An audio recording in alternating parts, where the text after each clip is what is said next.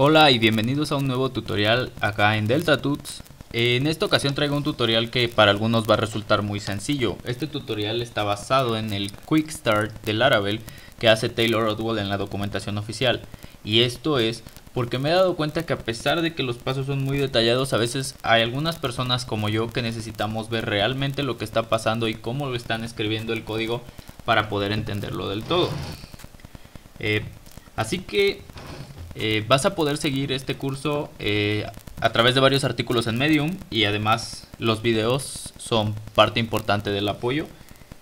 Eh, si no sigues mi cuenta de Medium es arroba Víctor al igual que la mayoría de mis redes sociales y ahí vas a poder ir viendo un poco las publicaciones de lo que voy haciendo y un poco de todo lo que voy escribiendo que son contribuciones personales y en muchos casos experiencias personales sobre lo que está pasando con Laravel.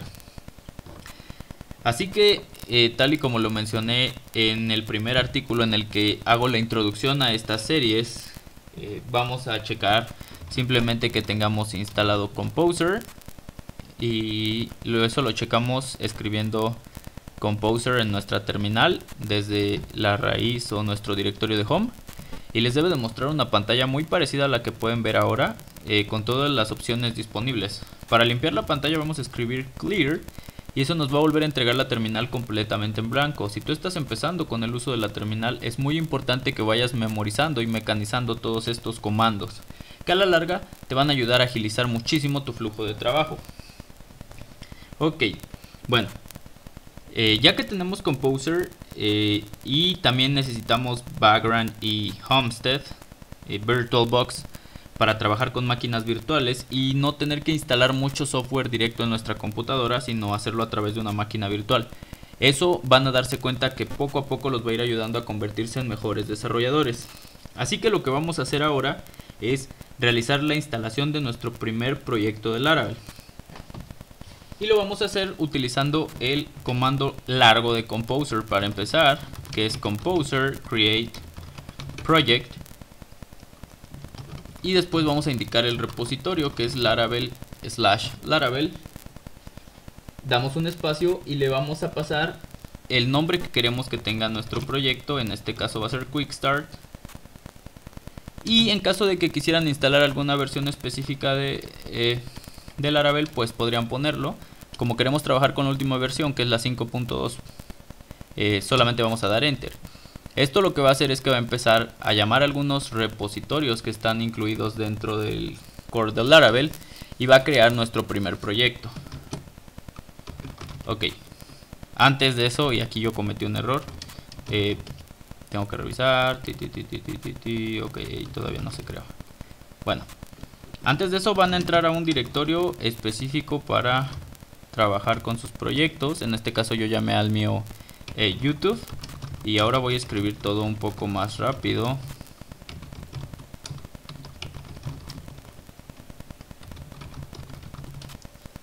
Para que esto vaya un poco más a prisa. Así que voy a pausar el video acá en lo que pasa todo lo de la instalación de los paquetes que puede llegar a tomar un poco de tiempo.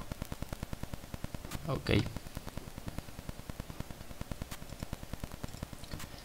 Así que aproximadamente después de dos minutos ha terminado la instalación de nuestro primer proyecto de Laravel, que como podrán ver pues realizó instalación de muchísimos paquetes, eh, algunos, la mayoría en mi caso que ocupo Laravel de forma recurrente y los carga directo del caché, pero a ustedes probablemente les instale cada uno de los paquetes. A mí me tomó alrededor de dos minutos y medio, probablemente a ustedes si es que tienen una máquina y una velocidad de internet muy decente, les tome entre 3 y 4 minutos y de ahí puede llegar a tomar hasta 10 minutos si tu velocidad de internet no es muy buena. Bueno, ahora voy a usar ls que es un shorthand para list y vamos a ver que ya tengo ahí eh, mi folder de quick start así que voy a entrar a ese folder utilizando el comando cd que es el shorthand o el método corto para change directory o change directory. No sé si lo pronuncio bien y voy a escribir el nombre del directorio.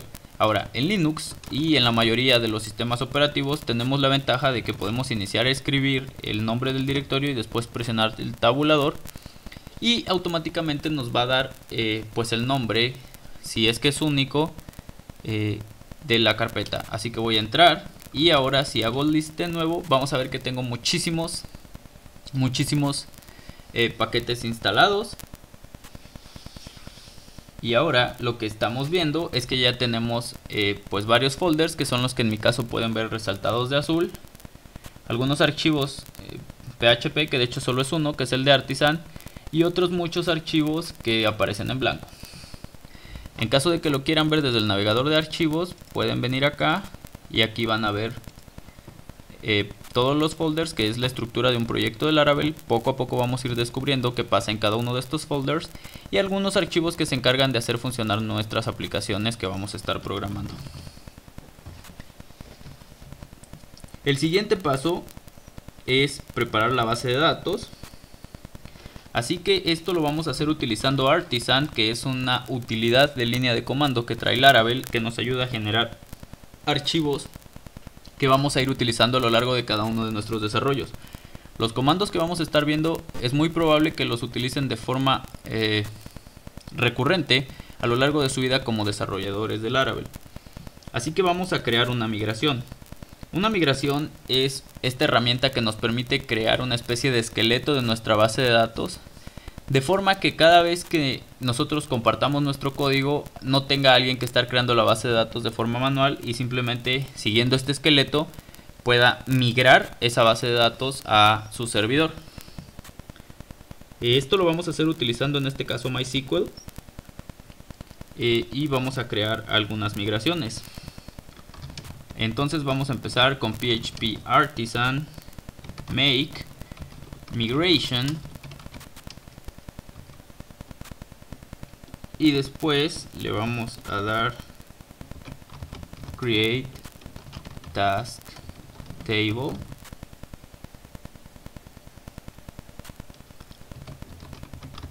Create y le vamos a pasar como una bandera task. Esto lo que va a hacer es que nos va a colocar una migración dentro de nuestro folder de database migrations y aquí va a aparecer nuestra migración las migraciones normalmente siguen una convención de nombres en los archivos en el que utilizan primero la fecha en la que fueron creados y después el, tiempo separado en horas, minutos y segundos y después create el nombre de la tabla table.php separado por guiones bajos. Esto lo vamos a ver de forma recurrente y acá ustedes van a ver cómo automáticamente se va a crear el archivo si pueden ver aquí ya tenemos nuestra fecha en la que se está creando el archivo, el horario siguiendo una convención de tiempo de UTC y después create task table. Todavía no vamos a meternos mucho en esto de estar trabajando directamente con los archivos de código. Y lo que vamos a hacer es que vamos a abrir nuestro proyecto. Yo en este caso voy a utilizar PHP Storm. Ustedes si quieren pueden utilizar otro. Voy a iniciar utilizando Sublime para hacerlo un poco más fácil y más atractivo para todos.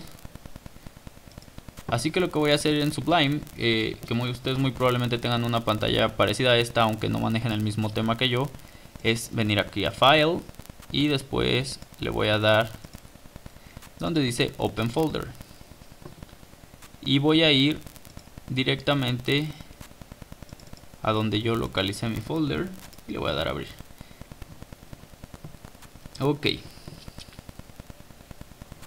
Aquí esto del punto env lo vamos a dejar tal cual debido a que vamos a estar trabajando en Homestead como especifiqué en el artículo de lanzamiento de esta serie. Y para ello necesitamos instalar el paquete de Homestead de Laravel pero no vamos a instalarlo de forma global sino que lo vamos a instalar por proyecto. Esto nos va a permitir crear una máquina virtual para cada uno de nuestros proyectos y tener todo mucho más organizado. Además, vamos a poder compartir un archivo llamado background file que va a permitir que otros desarrolladores que quieran ocupar nuestro código lo puedan hacer de forma más sencilla y solamente tengan que hacer background up.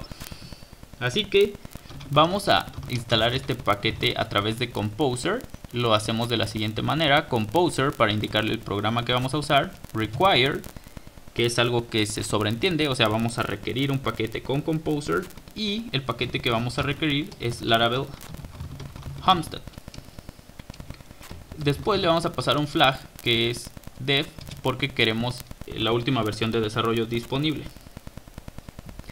Así que acaba de cargar el paquete, espero que no tarde mucho y mientras tanto eh, les voy a explicar que una vez que ya lo tengamos instalado tenemos que usar un comando que se llama make y esto nos va a generar los archivos necesarios para poder trabajar con, eh, con Vagrant. Aquí como vemos ya se terminó de instalar. Voy a limpiar la pantalla y lo que voy a hacer es entrar a vendor que es donde se instalan mis dependencias con Composer después voy a buscar en el folder bin el eh, bueno este archivo de Homestead y voy a usar el comando make ahí me dice que Homestead ya se ha instalado y si podemos ver aquí en nuestra carpeta de raíz se han agregado estos dos archivos background file que es un archivo eh, Ruby que contiene toda la configuración necesaria para nuestro, nuestra máquina virtual y homestead.yaml.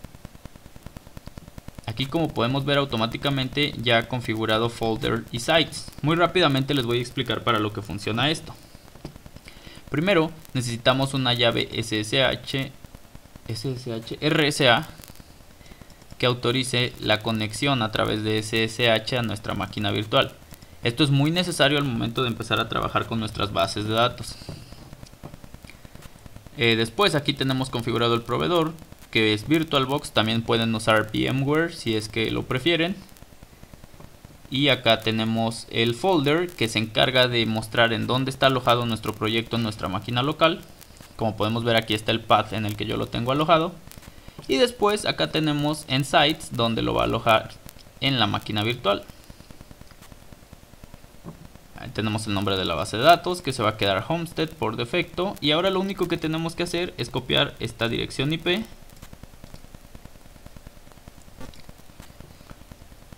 Y desde la terminal vamos a ir a nuestro archivo eh, host.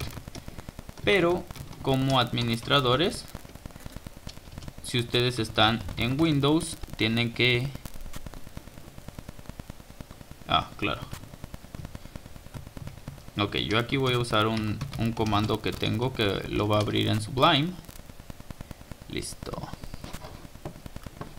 Entonces, aquí vemos que yo ya tengo varias aplicaciones. Lo que tendrían que hacer, figurándose que no tuvieran todo esto que yo ya tengo aquí, es pegar la IP que acabamos de copiar y adelante escribir el sitio al que estamos mapeando.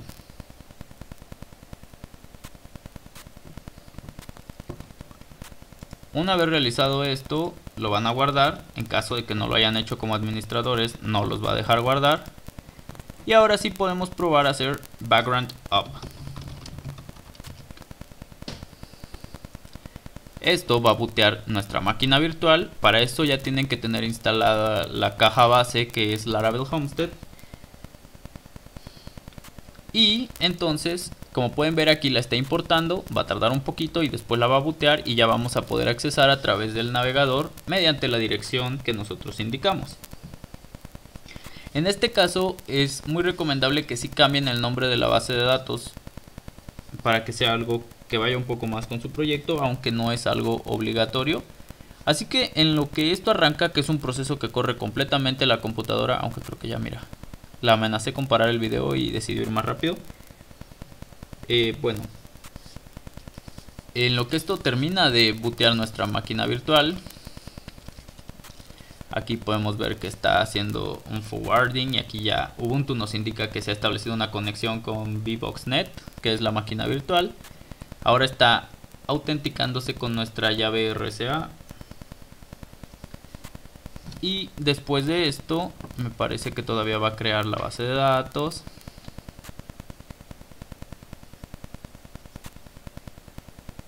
Está seteando el nombre del host, que en este caso sería homestead.app.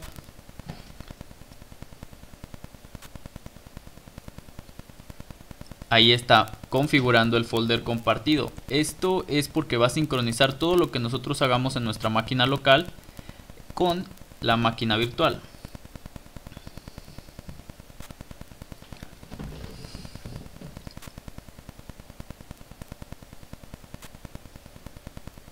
Perfecto. Eh, voy a hacer clear para limpiar la terminal. Y ahora en mi navegador me voy a dirigir